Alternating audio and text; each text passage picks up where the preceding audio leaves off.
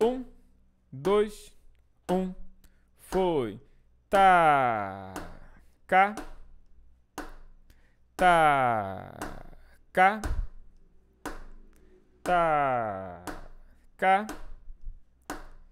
tá, cá. Pedro, mas como é que faz para ler dois pontinhos, cara? Que um pontinho já quebra a cabeça com a matemática.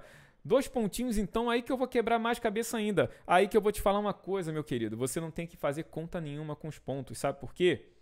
Toda a nota termina quando começa a outra. Você só precisa saber quando começa essa. E como que você sabe como começa essa? Através do estudo correto dos padrões rítmicos de forma organizada, passo a passo. Que você aprende aonde?